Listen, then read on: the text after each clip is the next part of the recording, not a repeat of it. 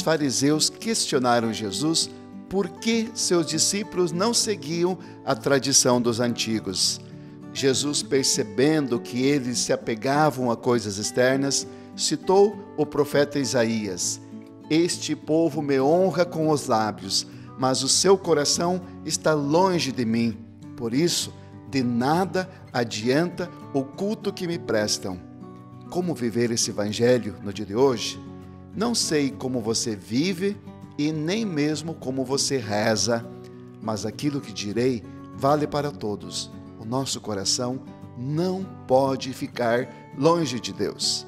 E também ninguém consegue enganar a Deus, fingir as coisas para Ele, esconder as coisas de modo que Ele não conheça.